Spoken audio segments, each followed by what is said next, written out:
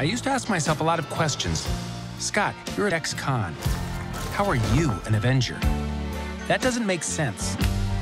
But everywhere I go, people tell me the same thing. Shut up, Paul.